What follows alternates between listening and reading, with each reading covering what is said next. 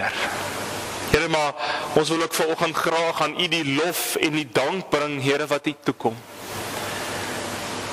Here U is die enigste een wat ons lofwaardig is Here. Here daar's so baie goed waaroor ons elke dag behoort dankbaar te wees in ons lewens. Ons wil vanoggend vanuit ons hart vir U kom dankie sê Here. Dankie vir al die voorregte wat ons elkeen geniet. Dankie dat ons die voorreg het om die kinders te mag wees en dat ons U die enigste ware God, die Skepper God, die almagtige God, dat ons U mag Vader noem. En kan weet dat U soos 'n Vader vir ons elkeen is.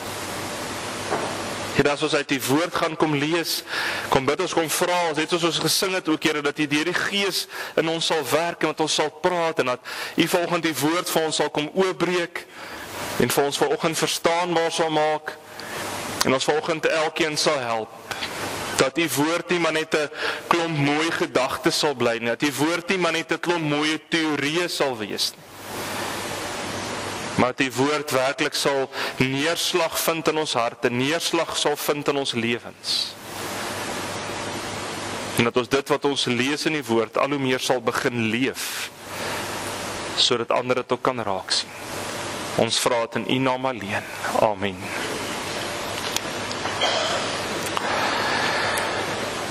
Ons skriflesing vir oggend kom uit uh, twee verskillende gedeeltes uit die woord van die Here so bymekaar.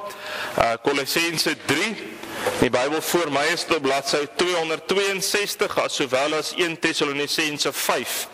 Bladsy by my is op bladsy 270.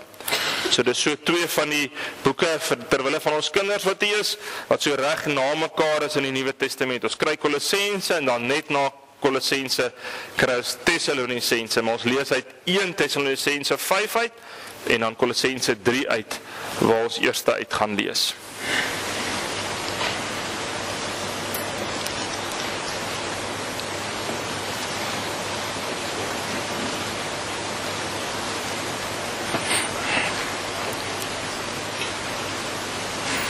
Sy saam met mamma en pappa sit, vra dat hulle jou sal help, né? Dat uh, julle die stukkies in die Bybel kan kry, dat julle mooi saam kan volg ook.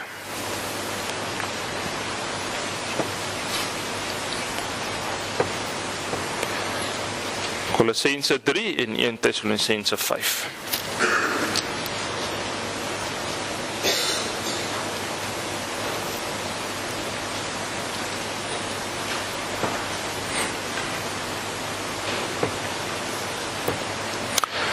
ek gaan vir ons daar lees van Kolossense 3 af en luister weer vanoggend as ons die dele lees. Wat hoor jy oor dankbaarheid en oor dankie sê wat behoort deel te wees van ons elkeen se lewens? Kolossense 3 daarvan vers 1 af. Aangesien julle saam met Christus uit die dood opgewek is, moet julle streef na die dinge daarbo waar Christus is waar hy aan die regterhand van God sit. Rig julle gedagtes op die dinge wat daarbo is, nie op die dinge wat op die aarde is nie, want julle het gesterwe en julle is saam met Christus verborge in God. Wanneer Christus wat julle lewe is by sy wederkoms verskyn, sal julle ook saam met hom verskyn en in sy heerlikheid deel. Daarom moet julle die aardse dinge doodmaak wat nog deel van julle lewe is. Onsedelikheid, onreinheid, welis, slegte begeertes en gierigheid wat afgoderry is. Deur sulke dinge kom die straf van God oor die mense wat van hom aan hom ongehoorsaam is. Vroeg julle ook aan die dinge meegedoen toe julle nog daarin gelewe het. Maar nou moet julle al hierdie dinge laat staan. Woede, haat, nait en 'n gevloek, vuil taal moet daar nie uit julle mond kom nie en moenie van mekaar lieg nie. Julle het met die ou sondige mens en sy gewoontes gebreek en leef nou die lewe wat die nuwe mens wat al hoe meer vernuwe word na die beeld van sy Skepper en tot die volle kennis van God.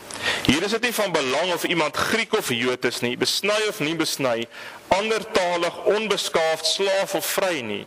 Hier is Christus alles en in almal. Julle is die uitverkore volk van God wat hy baie liefhet. Daarom moet julle meelewend, goedgesind, nederig, sagmoedig en verdraagsaam wees. Wees geduldig met mekaar en vergewe mekaar as die een iets teen die ander het. Soos die Here julle vergewe het, moet julle mekaar ook vergewe. Moet dit alles met julle mekaar lief hê. Dis die band wat julle tot 'n volmaakte eenheid saambind. En die vrede wat Christus gee, moet in julle lewens die deurslag gee. God het julle immers geroep om as lede van een liggaam in vrede met mekaar te leef. Wees altyd dankbaar. Die boodskap van Christus moet in sy volle rykdom in julle bly.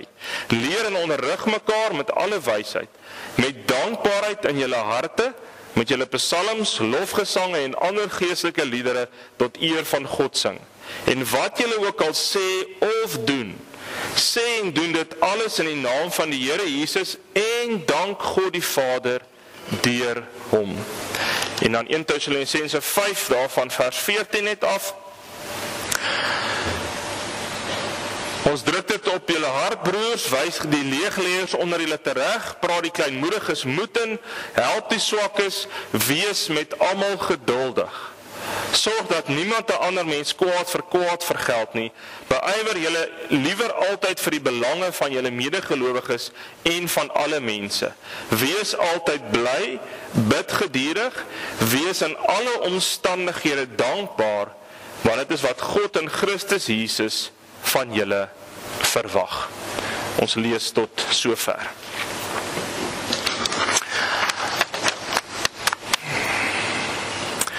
Meeste van ons het of is dalk in die proses om van kleins af ons kinders te leer om te sê sê dankie, né? Nee. Uh, ons leer ons kinders sê dankie wanneer iemand iets vir jou doen of wanneer iets iemand iets vir jou sê en dan weet ons baie keer as ouers, ehm uh, dis nogal 'n redelike voortdurende ehm uh, aanhoudende proses net. Mens dink as jy dit begin, dit gaan net so een of twee keer nodig wees en dan kom jy eintlik agter maar jy moet eintlik soms vir 'n lang tydperk die hele tyd jou kinders herinner daaraan om te sê maar sê dankie. Nou, sê dankie as iemand iets vir jou doen. Sê dankie wanneer ehm um, iemand iets vir jou gee. En is goed en is wonderlik ook, maar ek dink sonder dat ons dit besef, Al het ons die mooiste motiewe as ouers en en die beste uh wat ons uit ons kinders uit wil bring, kan dit ook negatief wees. As ons heeltyd ons kinders leer om te sê sê dankie, sê dankie, sê dankie. Die stelling waarop die bord verskyn sê dankie is 'n klein woordjie wat tog so baie uh baie beteken. Die gevaar kom dat wanneer ons konstant vir kinders sê sê dankie, sê dankie, sê dankie en dis al wat ons hulle leer, dat ons by ou en dag die woordjie dankie betekenloos maak. Want al wat ons kinders leer is, okay, as dit gebeur of dit gebeur, moet ek dankie sê. Maar hulle leer dan nie noodwendig dankbaarheid aan nie. En daarom kan dit gevaarlik wees. Daarom moet ons waak daarteen om nie net as ouers net vir ons kinders of ons kleinkinders te sê sê dankie, sê dankie, sê dankie nie, maar ons moet die tyd met hulle spandeer om hulle te leer wat beteken dit om dankbaar te wees. Ons moet tyd met hulle spandeer om hulle te verduidelik, maar waarom moet jy dankie sê? Dat daai dankie van hulle werklik ook kan leer dat dit uit hulle hart uitkom. Dat hulle kan leer, maar as ons dankie sê, moet dit iets wees wat ons bedoel. Anders raak dankie sê maar net nog 'n woord wat eintlik nie betekenis het nie. Raak dit maar net goeie maniere wat eintlik geen impak maak op die persoon wat dit sê nie. Ons almal weet dit, dit word baie keer soos die woordjie as ons vir mekaar goed en sê goeiemôre, hoe gaan dit? En dan sê die ander persoon goed en dan sê jy ook goed, dankie. Ehm um, ek het al baie keer dit getoets met mense en dan sal iemand sê goeiemôre, hoe gaan dit? Dan sal ek sê uh nie so goed nie, dankie. En dan sal hulle sê ja, goed, dankie met my ook. Nee, dan het hulle nie eens gehoor ek sê nie so goed nie. Nee, want ons is so gewoond en dit eintlik so 'n uh, 'n uh, 'n refrein geraak wat ons herhaal. En nou kom die gevaar dat met dankie kan dieselfde gebeur. Ons is so gewoond daaraan dat ons verseker goed heeltyd moet dankie sê, maar bedoel ons dit regtig? Bedoel ons dit regtig wanneer ons dankie sê? Verstaan ons regtig waarom is dit nodig om dankie te sê? Ons almal het dit al beleef, né? As jy iets vir iemand doen en daai persoon is werklik dankbaar daaroor, dan kan mense duidelik in hulle lewe raak sien. Jy kan sien in hulle stemtoon, hulle reaksie, hulle gelaatstrek, hulle gesigsuitdrukkings, kan jy sien hierdie persoon is werklik dankbaar. Ons almal weet dit en en ander kere beleef ons dit weer dat iemand jy iets vir iemand doen, hulle sê dankie, maar uit hulle liggaamshouding, hulle liggaamstaal, hulle stemtoon kan jy agterkom, maar uh, daai dankie het nie regtig enige iets wat daar agter sit nie. Daar's nie regtig 'n gevoel daar agter, 'n regtig gevoel van dankbaarheid uit nie. Ons leef ongelukkig in 'n wêreld wat baie ondankbaar geraak het. Ons leef in 'n wêreld waar mense nie meer dankbaar is nie.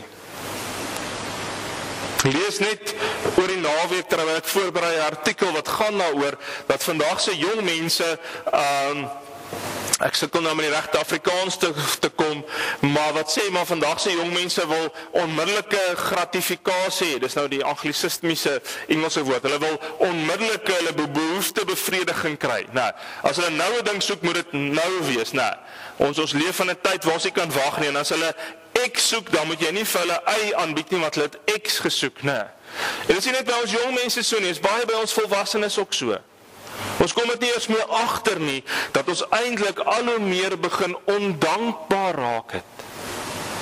Deels daarvan is natuurlik uh die lewe waarin ons leef, waar ons gebombardeer word met 'n klomp advertensies. Uh, ons word gebombardeer met uh, mense se menseregte en elke ou het reg op alles en daarom het ek reg vir alles ook. En dan maak dit sonder dat ons dit besef dat daai goed eintlik ons ons geestelike lewe ook insypel, né? Nee. En dan raak ons ook mense wat baie maklik ondankbaar is as goed nie presies is soos ek dit wil hê nie. En dan kom die advertensies nog wat ons bombardeer wat vir ons uh um onder die uh, illusie bring of vir ons insinieer dat as ek nie hierdie ding het nie, dan as ek nie intel nie. As ek nie die regte skoene dra of die regte soos die tieners sê brand name van iets dra nie, dan as ek nie intel nie. As ek nie die nuutste selfoon het wat die met die beste uh uh spesifikasies het nie, dan as ek nie intel nie en so meer. En dit alles maak dat mense al hoe meer ondankbaar raak. Ons is nie meer dankbaar vir wat ons het nie. Want hoekom? Ons is heeltyd gefokus op wat ek nie het nie. Ek die advertensie wêreld en alles bring heeltyd onder my aandag wat kort ek nog in die lewe? Wat moet ek nog kry volgens hulle, nê? Nee, nie volgens God nie, maar volgens hulle. En dan fokus ons so fokus ons so op daai goed dat ek vergeet om eintlik te fokus op wat ek het. As ek op fokus op wat ek het, dan sal ek baie meer dankbaar in hierdie lewe wees, baie meer dankbaar leef. Maar dit is vir ons moeilik. Dietrich Bonhoeffer het al gesê dankbaarheid is 'n kuns. Die kuns van dankbaar die kuns om dankbaarheid te beoefen is ook die kuns van die lewe. Hy het al kom snap en besef maar die lewe is soveel beter. Die lewe lewe maak soveel meer sin. Die lewe is soveel gemakliker As mens besef maar as ek 'n dankbaarheidslewe leef, maak dit die lewe vir myself soveel beter. As om heeltyd te wonder en te soek, maar wat kort ek? Wat het ek nog in hierdie lewe nodig? Gedeelte wat ons vanoggend saam gelees het, handel beide so 'n bietjie oor die ou lewe en en die nuwe lewe. En en die Kolossense gedeelte begin eers om uh, vir ons te vertel wat het Jesus vir ons gedoen sodat ons 'n nuwe lewe kan leef en en dan gaan hy voort en dan verduidelik hy vir ons wat's al die goed wat ons uh, lewe vuil maak wat ons nodig het om af te lê. Ehm um, wat nie meer deel moet word wees van ons lewens nie. En uh, dan kom hy uit by die lysie oor wat behoort nou deel te wees van 'n gelowige se lewe. En een van die goed wat hierdie gedeelte vir ons baie duidelik kom sê en ons lees dit in soveel ander boeke in die Nuwe Testament dat dankbaarheid is deel van 'n nuwe lewe vers 9 in die oorspronklike teks is eintlik so mooi en die boodskap het dit redelik na in die oorspronklike teks vertaal wanneer daar staan julle is eintlik soos iemand wat sy ou klere uitgetrek het en nuwe klere aangetrek het. Die ou klere is julle slegte ou gewoontes en die verkeerde manier waarop julle geleef het. Daarvan moet julle ontslaa raak soos ou klere ondankbaarheid om ondankbaar te wees is deel van die ou vuil klere wat ons almal veronderstel is om uit te trek en die nuwe klere wat ons moet aantrek deel daarvan is om 'n lewe van dankbaarheid te leef dankbaar te wees vir alles wat ek elke dag het En nie net heeltyd te fokus op dit wat ek nie in hierdie lewe het nie en nog graag sou wou hê nie. Dis deel van dankbaarheid, né? As jy skoon nuwe klere gaan aantrek, dan sien ander dit raak. Dan moet ander kan raak sien, maar joh, kyk hoe mooi is hierdie persoon aangetrek. Ons sien dit raak, né? En dis hoekom hierdie beeld so kragtig en so mooi is want dit beteken dat as ek sê ek trek 'n nuwe lewe aan so skoon klere en deel daarvan is dankbaarheid, moet ek so leef dat ander in my lewe kan raak sien en kan ervaar dat ek 'n dankbare mens is. Die manier hoe ek met hulle praat, die manier hoe ek oorkom, die manier hoe ek praat oor oor goed in die algemeen moet van so aard wees dat mense as hulle met my te doen het, nadat ek moet sê, "Joeg, hierdie persoon is daarom 'n dankbare mens." Hy is so dankbaar vir dit wat hy het. Dis die beeld wat ons moet vertoon. Dis wat ander in my lewe moet kan raak sien, uh soos ek al hoe meer die nuwe lewe aantrek en al hoe meer die ou lewe agter my los. Maar baie van die elemente is met mekaar verweef. Nou, ehm um, 'n nuwe lewe, daai elemente wat hier genoem word in beide hierdie gedeeltes, jy kan nie die een losmaak van die ander een nie. Hulle is vervleg met mekaar. En daarom sien ons baie mooi veral in 1 Tessalonisense 5 wat ons gelees het, dat die skrywer eintlik daar vir ons kom sê, maar blydskap, gebed en dankbaarheid, daai drie kan jy nie van mekaar losmaak nie. Die een beïnvloed altyd die ander een. Dis hoekom hulle die drie so bymekaar noem. Elders ander teksgedeeltes sien ons presies dieselfde wanneer hulle weer saam uh, in dieselfde versies of bymekaar genoem word. Want sien wanneer ek erns maak met my gebedslewe, dan besef ek hoeveel goed daar is om voor dankbaar te wees. As ek besef hoeveel goed daar vir om dankbaar te wees en ek leef 'n lewe van dankbaarheid, sal ek meer blydskap in my lewe ervaar. Want wanneer ek ondankbaar is, is ek het ek ook nie vreugde nie, het ek ook nie blydskap nie, want ek is altyd ondankbaar oor wat ek nie het nie. Maar wanneer ek leer om dankbaar te wees, bring dit mee dat ek al hoe meer blydskap in hierdie lewe het wat weer lei daartoe dat ek erg meer erns maak met my gebedslewe en dan besef ek net weer opnuut hoe baie het ek om voor dankbaar te wees en dan bid ek meer om vir Here dankie te sê vir alles wat hy vir my gee. So daai drie goed is heeltyd in 'n wisselwerking met mekaar. As jy 'n ondankbare lewe lei, gaan jou gebedslewe nie lyk soos wat hy behoort te lyk nie. Gaan jy sukkel om blydskap in die lewe te hê. En andersom ook. Ek het dit al vorige keer met 'n vorige preek daarna verwys. So ek gaan net in kort daarna verwys vanoggend dat Martin Seligman wat ehm um, gesien word as die vader van die positiewe sielkunde het mos hierdie hierdie navorsing ding gedoen waar hy 'n klomp pasiënte gevat het wat met erge depressie aanlei. En hy het vir hulle almal die opdrag gegee om te sê, maar elke dag Noem drie goed waaroor jy vandag voor dankbaar is. Hoeveel groot goed te wees. Jy kan sê ek is dankbaar want 'n familielid het gister my gebel of my kom kuier of ek is vanoggend dankbaar vir die mooi blomme wat ek in die tuin sien. En hy het vir 'n paar weke lank die mense dit laat doen dat hulle elke dag oor vir drie goed vol moes sê waaroor hulle dankbaar is. En aan die einde van daai eh, proef tydperk wat hy gedoen het, het al daai pasiënte aangedui dat hulle depressie simptome het aansienlik verbeter. Party het so ver gegaan en gesê hulle depressie simptome het met amper 80% verbeter. Omdat hulle elke dag begin fokus het op dit waarvoor hulle kan dankbaar wees in plaas daarvan om te fokus op wat ek nie het nie, plaas daarvan om te fokus wat ek kort in die lewe. Net om verder te bevestig dit wat die Bybel ons reeds kom leer. Jy kan nie 'n dankbaarheidslewe losmaak van geluk nie. Dit gaan en vreugde nie, dit gaan hand aan hand met mekaar. Nog 'n ander gedeelte wat vir my nogal opvallend was om raak te sien in albei hierdie gedeeltes, is dat albei hierdie gedeeltes verwys daarna dat deel van hierdie nuwe lewe wat ons moet leef is is dat ons mekaar moet verdra as medegelowiges. Onthou, hierdie gedeeltes is spesifiek geskryf, die teks wat ons lees vir gelowiges wat deel is van 'n geloofgemeenskap. En dan sê die gedeeltes baie mooi vir ons ons moet mekaar verdra en ons moet geduldig wees met mekaar. Verdra beteken dat ek moet ruimte gee vir ander wat dalk hier in die kerk goed anderster wil doen as wat ek dit wil doen, wat dalk so 'n bietjie anderster dink oor goed as wat ek oor goed doen. Uh die ruimte moet gee vir mense om hulle gawes en talente uit te kan leef. Al doen hulle dalk hier op 'n manier wat nie heeltemal is soos ek dit sou doen nie, né? Want is deel van 'n dankbaarheidslewe. Kom ek noem gou 'n paar praktiese voorbeelde wat van toepassing is op ons erediens. Kom ek kom ek gebruik dit sommer as 'n voorbeeld. Party mense sit ver oggend en sê maar ek is mal oor die orgel. Ek ek wil as dit my keuse was het ons net orgel gesing, né? Ander ouens het vanoggend hier so sê, maar as dit my keuse is, het ons net van die musiekgroep gebruik gemaak en die alternatiewe instrumente want dit is my voorkeur.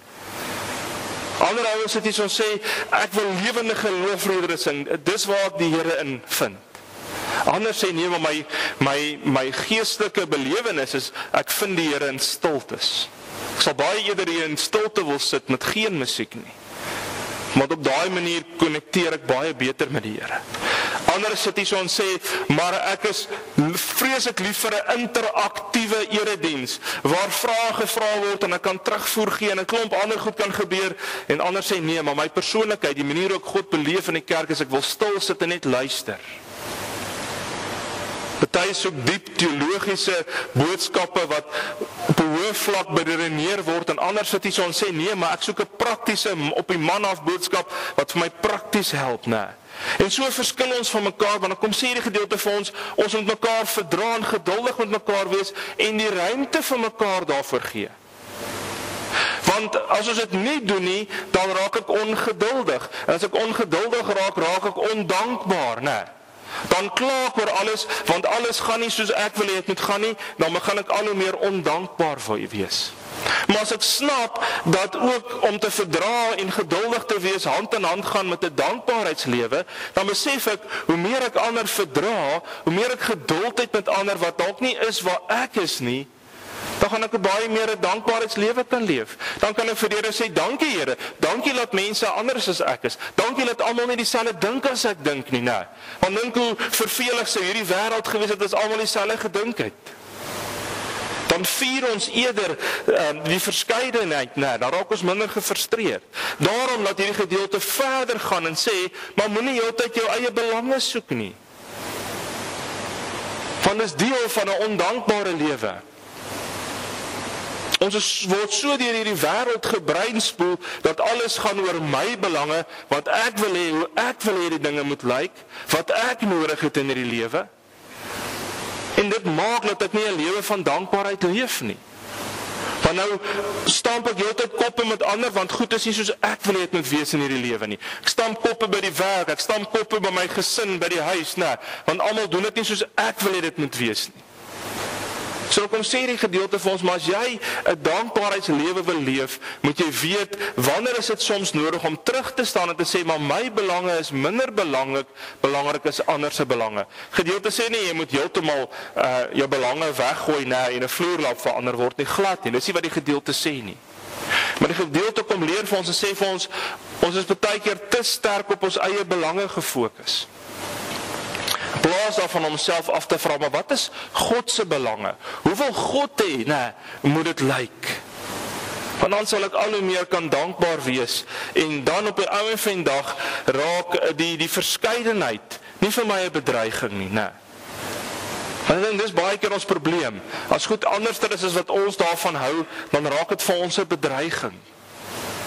En eintlik moet as ek dit kan omarm en kan verdra en geduldig wees, dan help dit my om meer dankbaar te wees. Want dan kan ek dankie sê vir die Here ook vir die verskeidenheid. Dankie Here dat almal nie alles op dieselfde manier doen nie. Maar nou is die groot vraag, hoe wys ons ons dankbaarheid teen God? Hoe bewys ons vir God dat ons regtig dankbaar is? Hoe leef ons werklike lewe wat getuig van dankbaarheid? Daar's natuurlik baie goed waarby ons kan stil staan, maar ek dink oorhoofs gaan dit oor 'n gesindheid, 'n ingesteldheid, 'n lewenswyse. Lewenswyse wat ons moet aanleer, moet aankweek. Dit gaan oor my ingesteldheid, my gesindheid dat ek sal leef vanuit 'n lewe van dankbaarheid. Nie net as ek hier by die kerk is nie, my hele lewe behoort daarvan te getuig. En volgens se gedeeltes help ons ook daarmee. Want ons eintlik in vers 2 begin lees om te sê dat die Bybel sê ons moet ons gedagtes rig, né, op die dinge wat daarbo is. En as daai gedeelte sê ons moet ons gedagtes rig op die dinge wat daarbo is, beteken dit nou nie dit gaan oor 'n spesifieke plek nie. Dit gaan daaroor dat ons moet fokus op wat God wil hê. Ons moet goed fokus op op God se wil. Wat is God se wil vir my lewe? Hoe wil hy moet my lewe lyk? En as ek dit begin doen, my kop begin regkry, sal ek begin om meer dankbaar te leef. 'n Dankbaarheidslewe begin nie by dade nie, dit begin by ons gedagtes. As ek begin fokus op die regte goed, meer en meer begin dink aan goed wat die Here vir my doen. Minder goed maar net as van selfsprekend aanvaar, né? Want ek dink dis een van die probleme in ons samelewing. Daar's soveel goed wat ons van selfsprekend aanvaar. Daar's soveel goed wat ons toeëien as my reg, né? Wat eintlik nie my reg is nie, wat eintlik nie so van selfsprekend is nie. As ek my gedagtes begin fokus op wat is positief, waaroor kan ek alles dankbaar wees? Kan dit nie anders ter as my my lewe gaan begin beïnvloed dat ek al hoe meer 'n lewe van dankbaarheid gaan begin leef nie. Jy moet gaan kyk hoe lyk ons gebede. Nee. As jy bid vir die Here, hoe baie van jou gebede gaan oor wat het ek nog nodig? Wat moet ek nog hê? En hoe baie van jou gebed gaan oor Here, dankie vir wat ek reeds het. Ons leer ons kinders mos altyd, mens moet eers dankie sê voordat jy nog kan kry, né? Maar ons beoefen dit nie altyd in ons gebedslewe nie. In ons gebedslewe moet dieselfde waar wees. Ek moet eers vir die Here kom dankie sê vir alles wat hy vir my gedoen het. OK, ons gaan seker in een gebed vir alles kan dankie sê nie, want is so baie goed. Maar begin met jou gebede, na jy die Here geloof het om eers dankie te sê voordat jy net kom vra. Want ons gebede lyk maar baie keer net soos 'n wenslysie, né? As ons bid dan baie keer dan sê ons net vir die Here alles wat ek soek en alles wat ek nodig het. In plaas daarvan om ook vir die Here in ons gebede dankie te sê. En dan moet ons God se wil soek, né? Soek na God se wil. Wat is God se wil vir my lewe? Hoe wil God hê moet ek leef? Hoe en waar en aan wie moet ek 'n dankbaarheidslewe uitleef, né? Wat vra die Here van my sodat ek in woord en daad werklik met dankbaarheid sal leef. En dan seker die moeilike een, gaan nie veel oor dit sê nie. Vers 15 in Efesiërs sê vir ons wees altyd ag in Kolossense sê vir ons wees altyd dankbaar en in Kolossense 5 sê wees in alle omstandighede dankbaar. Want dit is wat God in Christus Jesus van julle verwag gaan oor 'n keuse wat ek moet maak. Maar dis meer as 'n keuse, dis 'n opdrag van die Here. Die Here sê dankbaarheidslewe is nie maar iets wat ek kan leef as ek lus is daarvoor nie. Dis iets wat ek moet beoefen wanneer ek nou in die bye is daarvoor nie. Dit moet so deel wees van my geestelike DNA dat ek nie anders ter kan as om 'n lewe van dankbaarheid te leef ongeag my omstandighede, ongeag van wat ek in hierdie wêreld beleef nie. Want dit gaan nie oor om dankbaar te wees vir slegte omstandighede nie. Dit gaan daaroor om dankbaar te wees omdat ek in 'n verhouding met die Here staan en omdat die Here by my is en in my omstandighede teenwoordig is.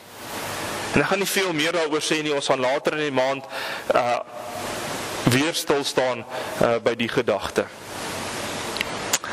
En dan vers 16 en 17 wat dit so mooi sê dat alles wat ons doen Alles wat ons sê of doen, moet van so 'n aard wees dat dit van God se dankbaarheid getuig.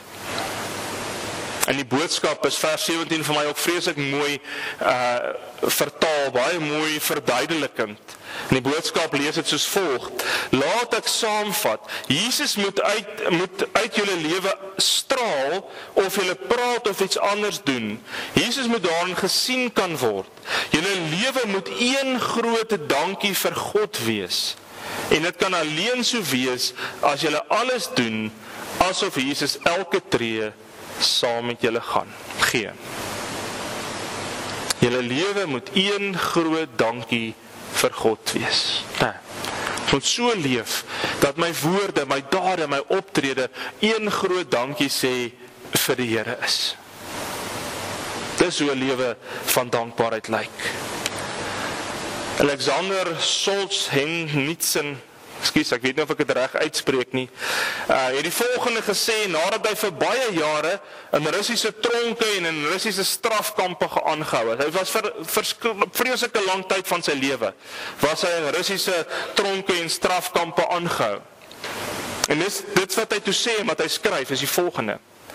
As jy nie van die koue bibber nie en honger en dors jou nie, ekskuus en honger en dors nie aan jou ingewande knaag nie, het jy genoeg om voor dankbaar te wees. As jou rug nie gebreek is nie, as jou voete kan loop, as albei jou arms kan buig, as albei oë kan sien en albei ore kan hoor, wie moet jy dan beny? En waarom? Afguns op wat ander het, is die emosie wat ons die meeste verteer. Vryf jou oë en reinig jou hart.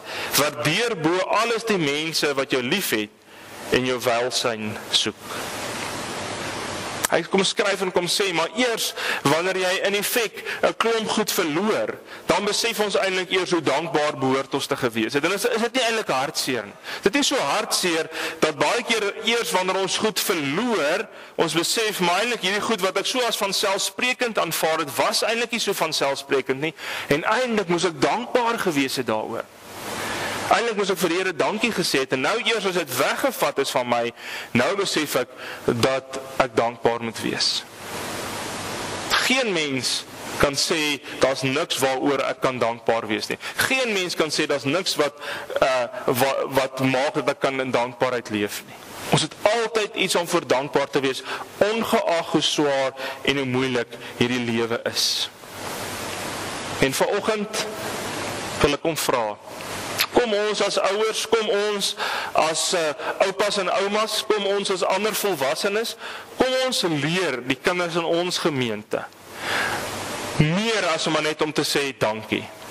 Kom ons leer hulle hoe lyk 'n dankbaarheidslewe? Kom ons leer hulle dat dit nie net by dankie sê moet bly nie, maar met my lewe moet getuig dat ek werklik dankbaar is. Meer is dit nog Ons as volwassenes het die verantwoordelikheid om vir ons kinders die voorbeeld te stel oor hoe lyk 'n lewe van dankbaarheid.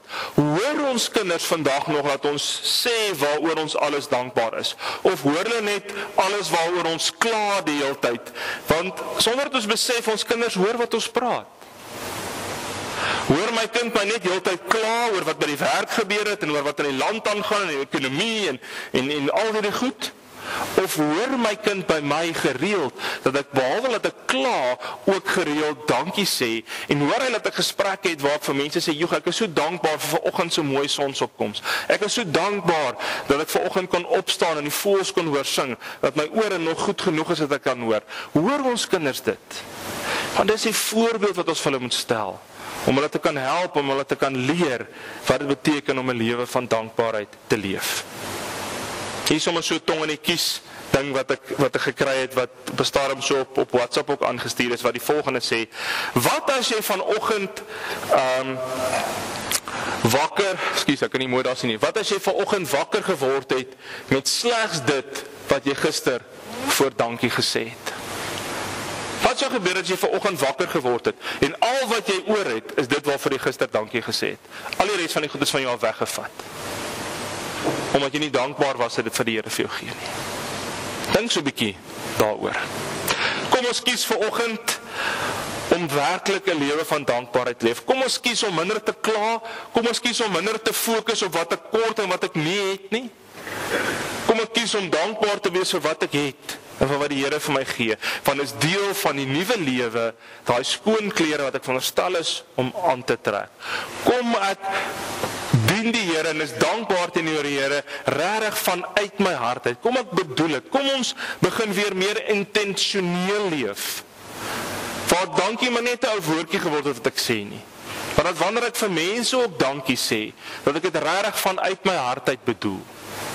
Dat 'n lewensingesteldheid by my sal begin word. En dan ten slotte, ek wil al die gesinne uitdaag met die volgende. En as jy 'n enkel persoon is, is jy ook 'n gesin. Jy's jy's 'n gesin by jouself. As gesin wil ek hê julle moet saam gaan besluit nou op 'n aksie of 'n projek wat julle hierdie komende vakansietyd gaan aanpak om prakties gestalte te gee aan julle dankbaarheid teenoor die Here. Wat kan julle as gesin hierdie vakansietyd doen? Julle kinders het 'n lang skoolvakansie hierdie Desember. Ehm um, ek hoor nou op party ouers sê gaan sê, "Joeg, hulle weet nie wat gaan hulle vir 6, 7 weke met die kinders maak na hierdie hierdie skoolvakansie nie." So gaan gesels bietjie saam.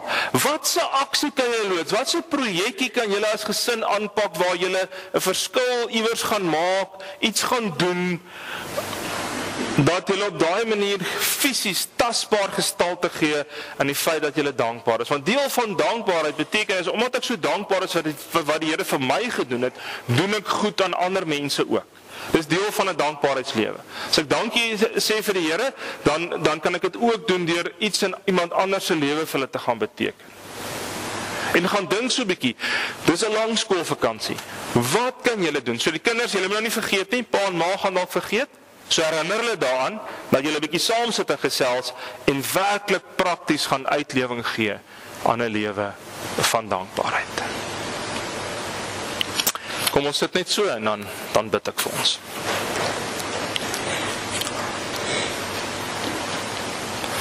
Hemelse Vader, dankie vir so baie goed wat U vir ons gee.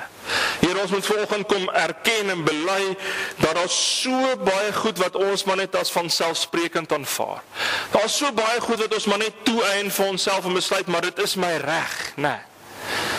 Here, ons daar so baie van hy goed wat eintlik nie so van selfsprekend is nie. Ons besef dat alles wat ons het en en alles wat ons is is net genade en daarom behoort ek dankbaar te wees vir elke ding. As ek vanoggend kon opstaan en en en alles in my liggaam werk, al my organe werk, behoort ek dankbaar daarvoor te wees. As ek 'n kos het om te eet, 'n dak het oor my kop, as ek 'n voertuig het om mee te ry, en dan so sou ons kan aangaan en aangaan en aangaan. Hoe dankbaar moet ons wees dat U ons U kinders gemaak het. Nie dat iewers in ons lewe ehm um, mense ons pad gekruis het wat erns gemaak het ook om 'n dankbaarheidslewe te leef en wat ons gehelp het en begelei het om U te leer ken sodat ons U kinders kan wees. Here ons aanvaar dit baie keer so as van selfsprekend dat ons maar U kinders is en dat U altyd daar is vir ons. En dit is seker die grootste ding waarvoor ons dankbaar moet wees. Here Jesus is vir U verlossingswerk. Here help ons dat ons minder op onsself gefokus sal wees. Minder gefokus sal wees op alles wat ek kort in die lewe nie het nie. Dat ek minder myself sal vergelyk met ander. En dat ek baie meer sal gefokus wees maar wat het ek? Wat het ek alles waarvoor ek kan dankbaar wees? Here, want dis deel van die nuwe lewe wat U vra wat ons moet aantrek wanneer ons hierdie ou vuil lewe uittrek van ons juis 'n lewe wat sal getuig van dankbaarheid. Help ons dat ons dit vir ons kinders sal leer. Help ons dat ons nie net vir ons kinders sal leer sê dankie sê dankie nie, maar dat ons vir hulle sal verduidelik, maar waarom moet ek dankie sê? Vir hulle dit sal gaan leef, hoe lyk 'n lewe van dankbaarheid? Help dat ons so sal leef dat as my kinders na my sal kyk, hulle my dankbaarheid sal kan raak sien in my lewe. Maar dis dis wat U van my vra, dis wat U ons voorroep. Dankie vir soveel seëninge, soveel genade wat ons elke dag so onverdiend uit die Vaderhand ontvang. Here help ons dat ons hierdie res van hierdie jaar, daar's 2 maande oor, werklik sal ons self afvra en sal fokus daarop om 'n lewe van dankbaarheid te leef. Ons kom bid dit en kom vra dit in U naam alleen. Amen. Jy kry dan nou geleentheid om die Here met die offergawe te dien.